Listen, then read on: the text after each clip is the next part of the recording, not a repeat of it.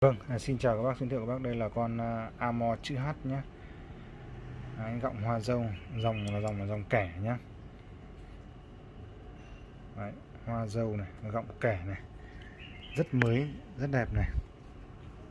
Trên này hơi gió ổn một chút, bác chú ý lắng nghe thì mới hiểu rõ video.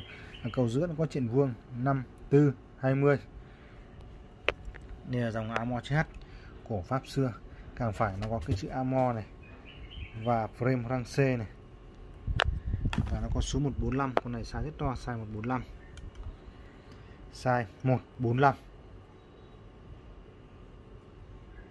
bọc vàng sáng ngắn gương. 145 này. Frame răng C này. Rất là rõ ràng nha à, càng trái thì nó có số 145 càng trái này mọi thông tin chi tiết về kính thì em luôn luôn ghi bên dưới video.